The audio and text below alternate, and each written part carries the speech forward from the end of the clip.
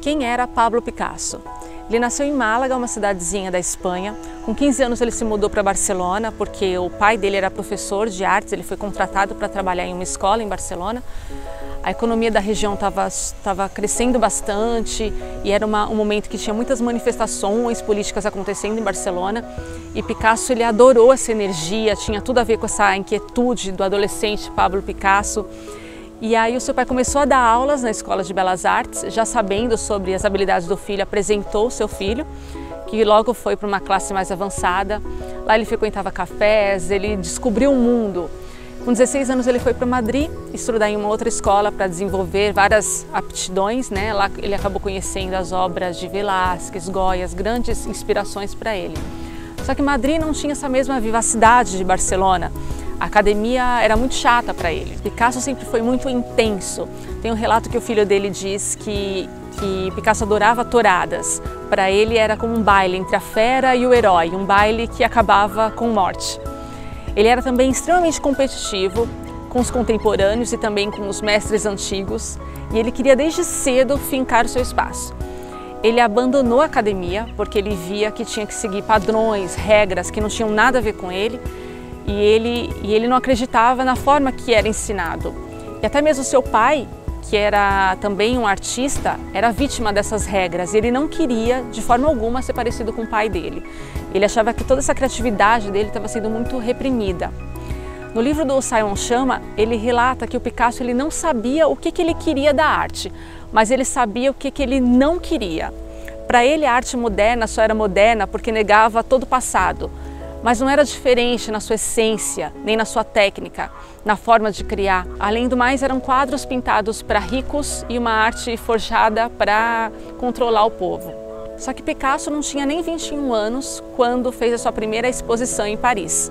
Promovida aí por um marchand super importante, ele não tinha nem obras suficientes para expor, ele entrou num ritmo de trabalho alucinante, mas no final a exposição deu certo, ele vendeu mais da metade das obras Porém, ele teve um problema pessoal logo depois, que foi um grande amigo dele, com quem ele dividia um apartamento, acabou se suicidando. E o Picasso ficou muito deprimido. E as suas obras acabaram mudando, isso influenciou demais a forma de criação dele. As obras foi uma época que as obras dele ficaram azuis.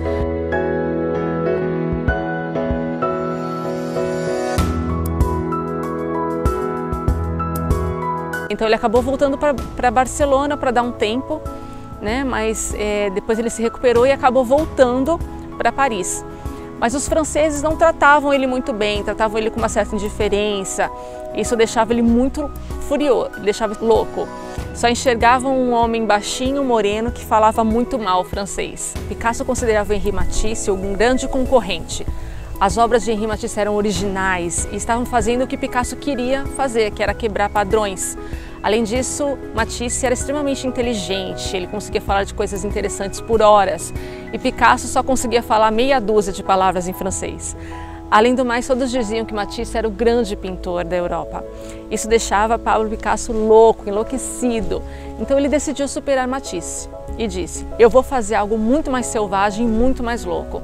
E ele já estava num processo de criar algo novo e ele estava pensando no que, qual que seria essa inspiração. Então ele encontrou Henri Matisse que estava com uma peça de origem africana na mão. Picasso pediu para olhar, pegou a peça na mão, olhou, devolveu e saiu correndo. Foi para casa e começou a criar o que ele acreditava ser algo único, era a inspiração que faltava. A gente está falando aqui do quadro Mademoiselles d'Avignon.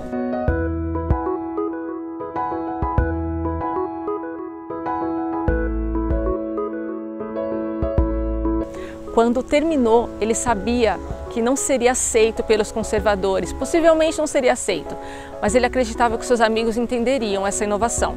Então ele testou, chamou algumas pessoas para estar tá olhando essa obra e quando as pessoas olharam, essas pessoas que ele convidou viram essa obra, eles detestaram, acharam horroroso, de péssimo gosto.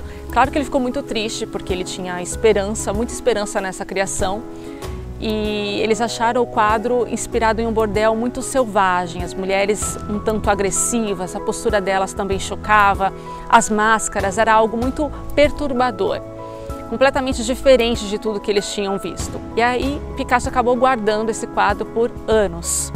Mas ele acabou encontrando um companheiro que viu algo, viu algo especial, que foi Georges Braque, que gostou desse trabalho e eles começaram a desenvolver o que, que seria o cubismo. E no cubismo, após muitos e muitos estudos, eles encontraram uma forma de romper esses padrões desde o Renascimento e de tudo que haviam criado desde então. A gente está falando realmente de uma quebra de padrões de séculos. E aí a gente tem a Garota com Mandolim e Majoli, que é inspirado na musa Marcelle Humbert. É, foi um momento muito importante dessa criação, da criação da arte mesmo, como o próprio Picasso disse, foi um momento de exorcismo do antigo. Imagina você criar, recriar algo que já existe muito claro, muito certo para todo mundo. E aí ele usou que ele, essa inspiração que ele tinha em Cezanne, que simplificava imagens em formas geométricas, ele acabou é, simplificando as, essas formas geométricas e começou a colocar ela em, elas em lugares diferentes, criando algo novo e depois ele começou a ajustar essas formas geométricas diferentes dentro da imagem, ao ponto de se tornarem tão complexas que eram impossíveis de serem assimiladas ou mesmo reconhecidas ou comparadas com qualquer coisa que a gente possa conhecer. Aqui ele acabou desconstruindo para, para criar algo novo, sem padrões, sem regras, somente pelo prazer de criar e recriar. Como sempre, ou infelizmente na maioria das histórias, mesmo atingindo o sucesso, seu pai via ele como uma decepção. Acreditava que ele seria um grande artista, que daria aulas, mas se tornou um cubista. Não só quebrava regras, como também criava novas. E para o pai, que era extremamente tradicionalista, o que Picasso estava fazendo não fazia nenhum sentido. As mulheres sempre fizeram parte do processo criativo de Picasso. A cada nova mulher, no, um, um novo estilo artístico. Por exemplo, enquanto ele estava com Fernand, ele criou Mademoiselle Savignon. Depois, com Marcelle Humbert, ele criou Majoli. Quando se casou com Olga, uma aristocrata, ele começou a andar com o pessoal mais elitizado, começou a pintar quadros tradicionais. Com o tempo, ele se cansou dessa vida tradicional e acabou dizendo que não era mais cavalheiro. E aí, enquanto ele vivia um momento turbulento nesse casamento, ele conheceu surrealistas que inspiraram ele a, criar a partir do inconsciente. Como estava vivendo muito mal com a Olga, ele começou a pintar quadros contorcidos, cheios de raiva, cheios de angústia.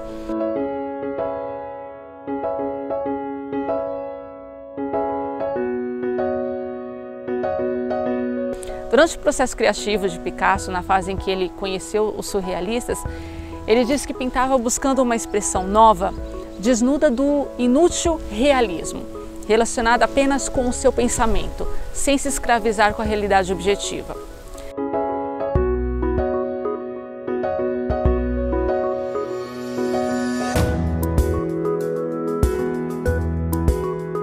Nesse meio tempo, ele abordou e conheceu Marie-Thérèse, escondido da esposa, foi uma musa, outra musa inspiradora, e encontrou uma linguagem única de abstração da forma.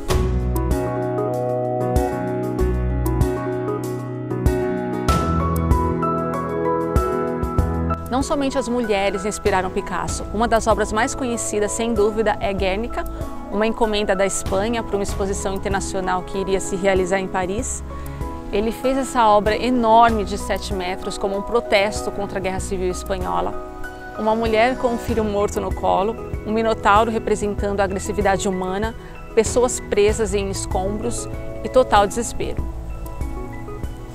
Outra obra bem conhecida é A Mulher Chorando, que retrata Dora, uma de suas amantes, que disputava seu amor com Marie-Thérèse. Ao final do relacionamento, ela disse que Picasso tinha tirado tudo dela, até que não houvesse sobrado mais nada. Ele conheceu uma nova mulher, que foi Françoise, uma jovem com quem se mudou de Paris e teve dois filhos. Inspirado por essa nova vida, ele criou Alegrias de Viver.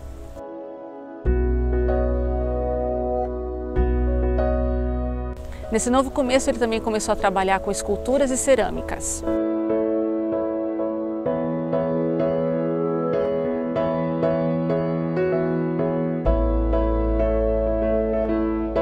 Mais uma vez, Picasso estava em busca de uma nova musa inspiradora.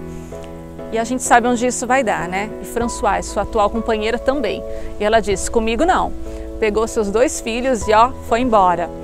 Depois de um tempo, Picasso se casou novamente com uma mulher simples da região que cuidou dele até o fim da vida. Seu nome era Jaqueline. Aos 80 anos, ele trabalhou incansavelmente em trabalhos consagrados, como por exemplo O Beijo,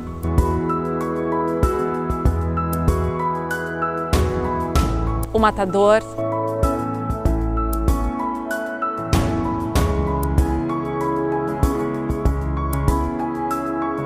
Ao fim, ele pediu um lápis e papel e faleceu desenhando, como ele queria.